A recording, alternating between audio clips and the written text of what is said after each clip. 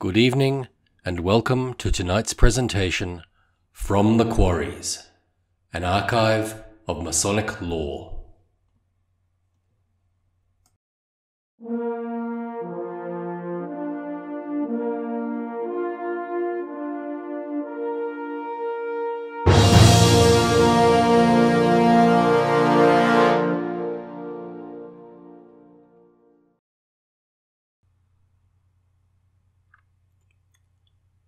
The 47th Problem, published in the Short Talk Bulletin, October the 10th, 1930.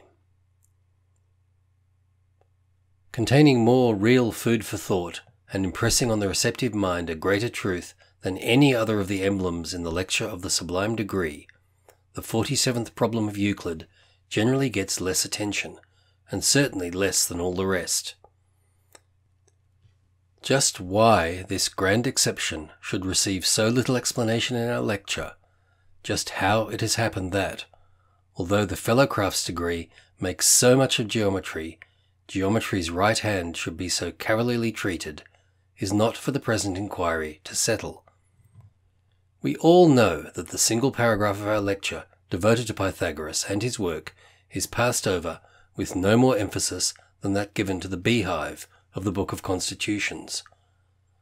More's the pity.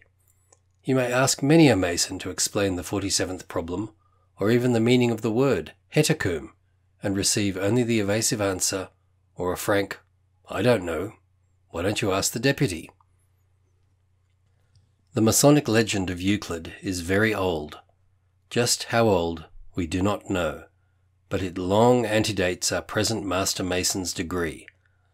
The paragraph relating to Pythagoras in our lecture we take wholly from Thomas Smith Webb, whose first monitor appeared at the close of the 18th century.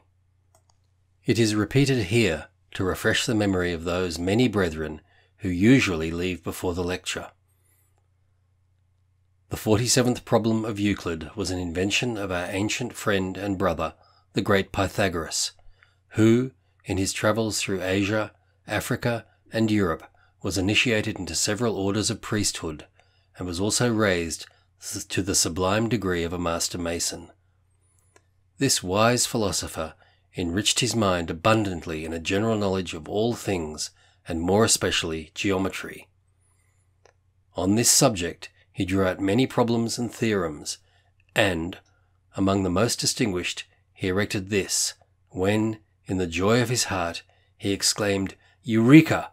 In the Greek language, signifying, I have found it, and upon the discovery of which he is said to have sacrificed a hecatomb. It teaches Masons to be general lovers of the arts and sciences. Some of the facts here stated are historically true. Those which are only fanciful, at least, bear out the symbolism of the conception.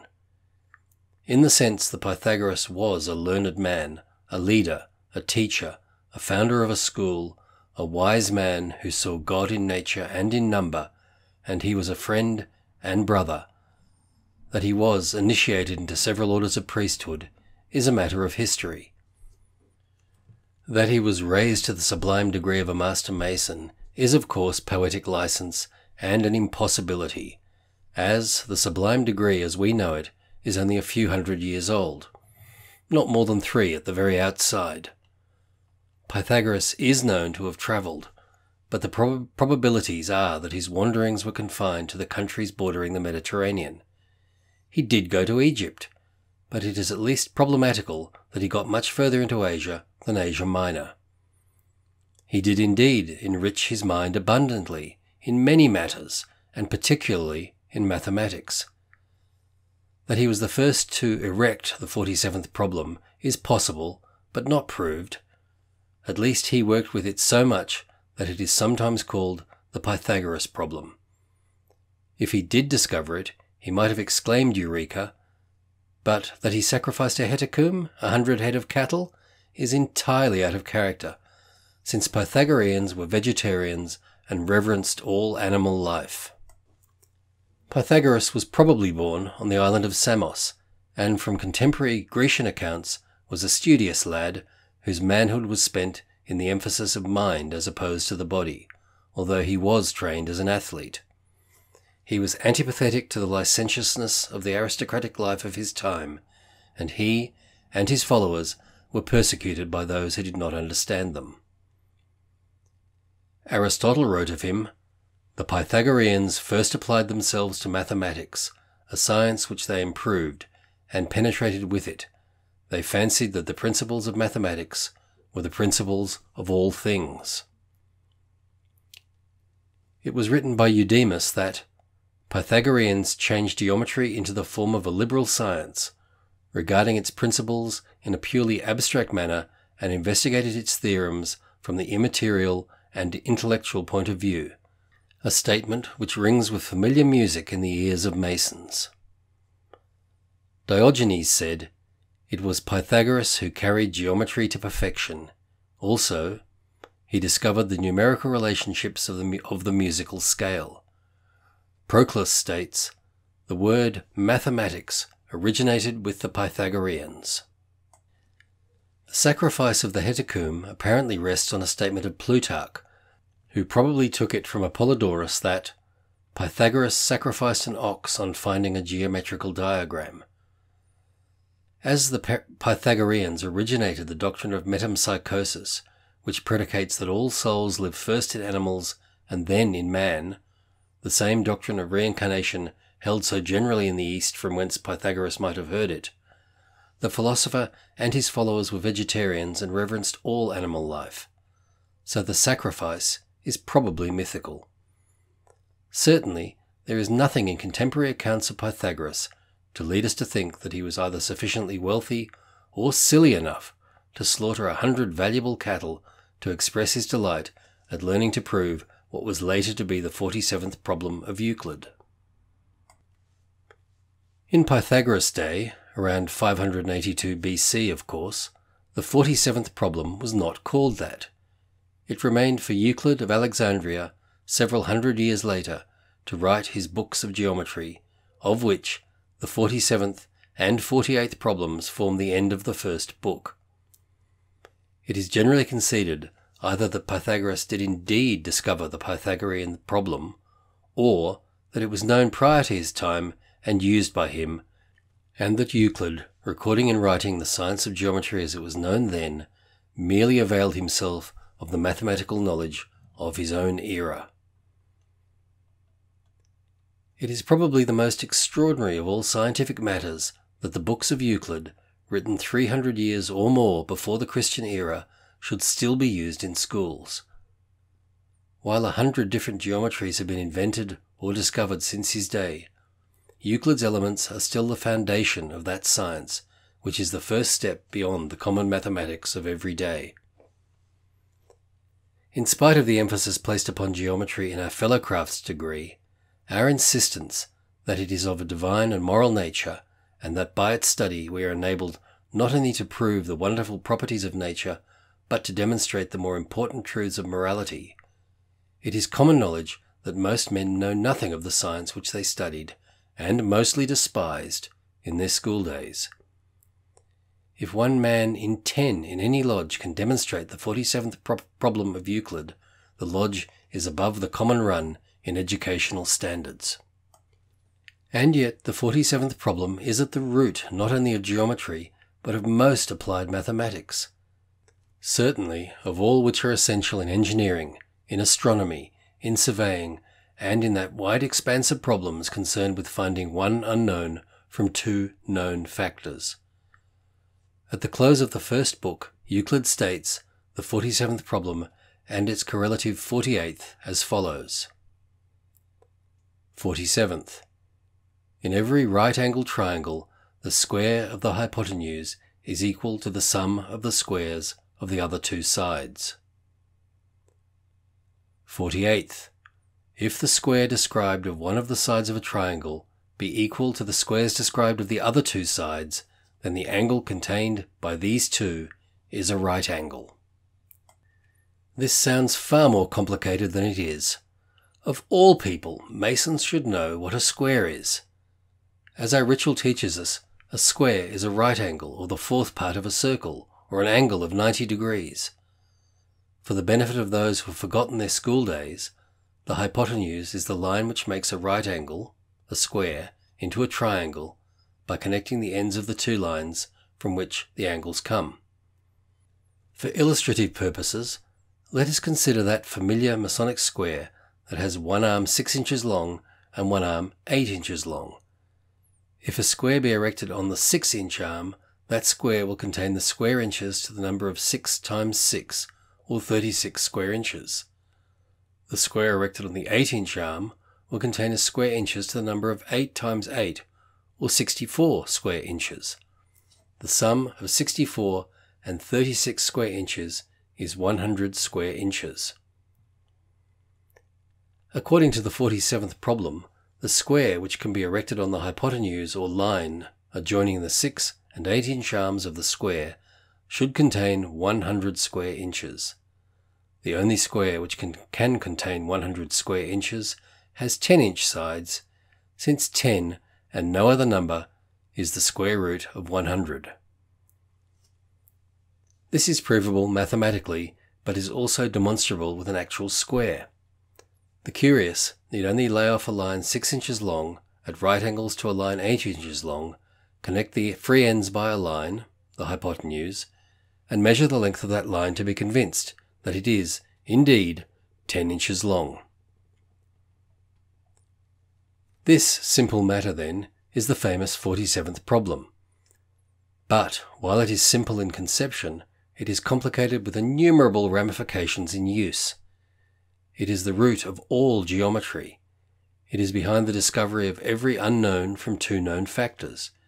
It is the very cornerstone of mathematics. The engineer who tunnels from either side through a mountain uses it to get his two shafts to meet in the center.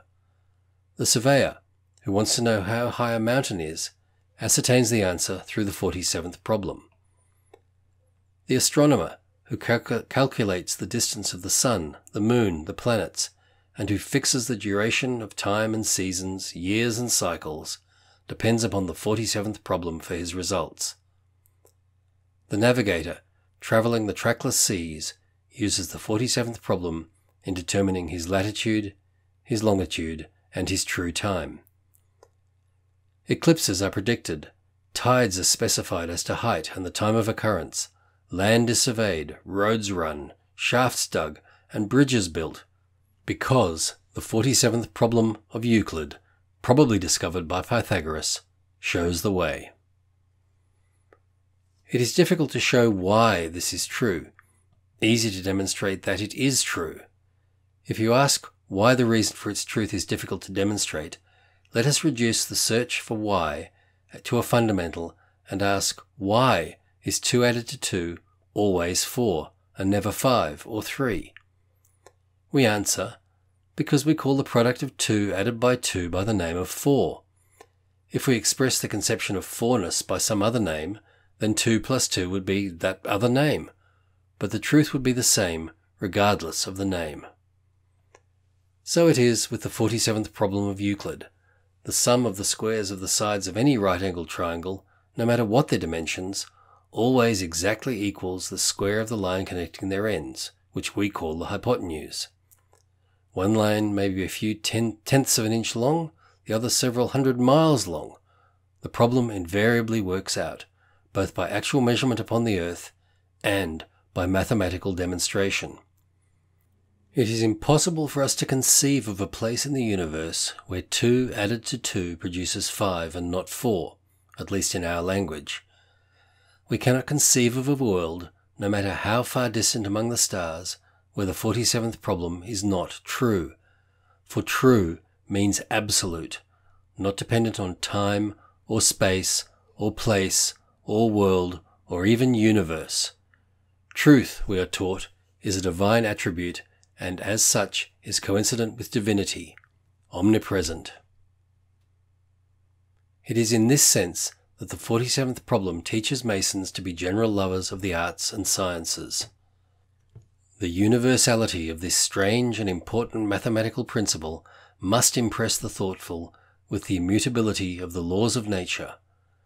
The third of the movable jewels of the entered apprentice degree reminds us that, so should we, both operative and speculative, endeavour to erect our spiritual building in accordance with the rules laid down by the Supreme Architect of the universe in the great books of nature and revelation, which are our spiritual, moral, and Masonic trestle board.